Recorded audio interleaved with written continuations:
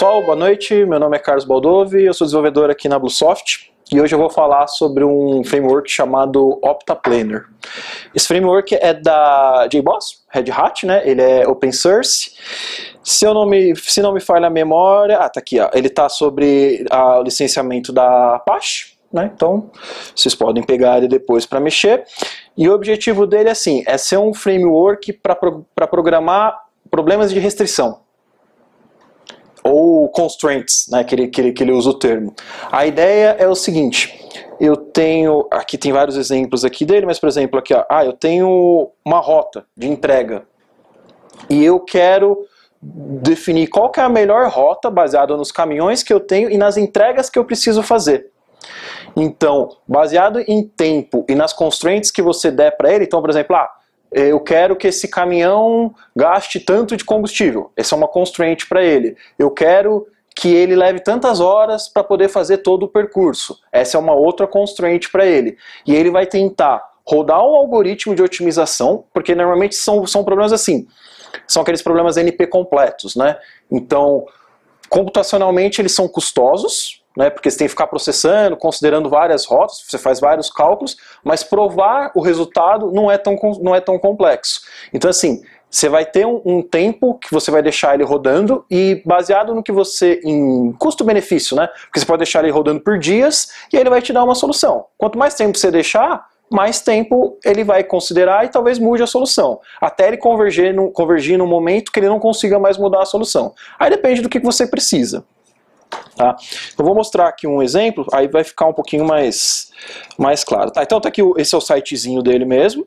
Quando você baixa, tem o, o, o você pode pegar, ele ele está no repositório do Maven, então você pode só pegar a dependência mesmo e utilizar no seu projeto, ou você pode baixar o projetinho dele mesmo, que aí já vem com um pacotinho de exemplos, né?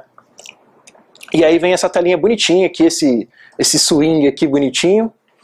Ô PC, então, aí aqui tem vários exemplos aqui de, de problemas para ele. Então, a rota do veículo, é, o caixeiro viajante, uh, esquedular exames, é, distribuição de camas num hospital, por exemplo. Né? Então eu vou rodar um exemplo aqui só para vocês verem, sei lá, vocês, não sei se tem preferência para algum, mas esse aqui, ó, que é a o jantar, né? Uma festa, é um jantar, uma festa, né?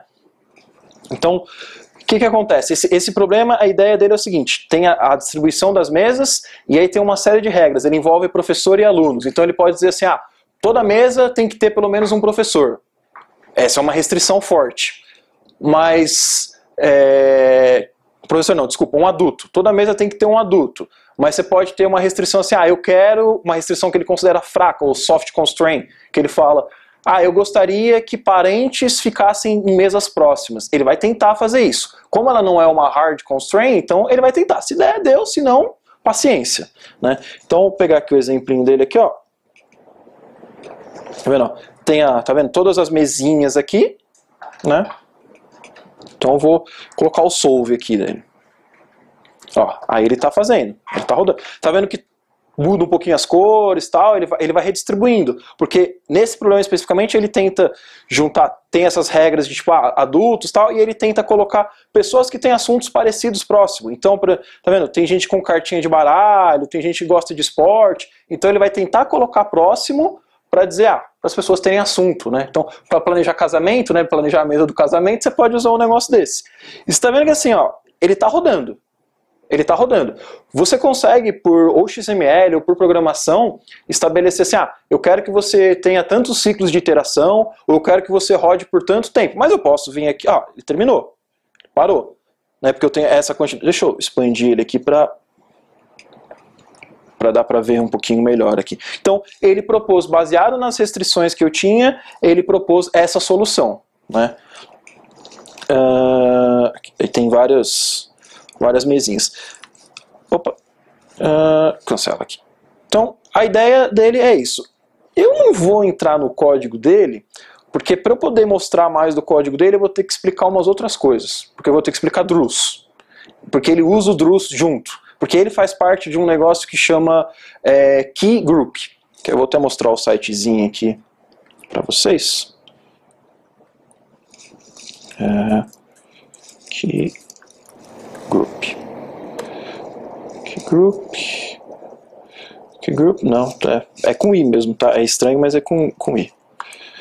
Red Hat. Cadê, cadê? Key group, Red Hat. Só porque eu falei, agora ele não quer achar.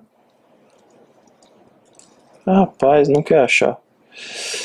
Bom, não estou achando, então não vou mostrar agora, devia ter aberto antes. Mas ele faz parte de uma suíte de ferramentas, tá? Então tem ele que é para essa parte de programação baseada em restrições. Você tem o Druze, que ele é um BRMS, que é um cara para processar regras. Você tem o tem uma ferramenta de dashboard da, da JBoss, então é toda uma suite completa para você fazer uma solução de, de processamento. Então, ele vai usar o Druze. Você pode escrever as regras que você quer, as constraints baseadas no Druze. Tá? Então, é só isso aí que eu queria mostrar para vocês hoje. Está aqui o sitezinho, depois vocês podem se informar mais sobre ele. Tá? É isso aí.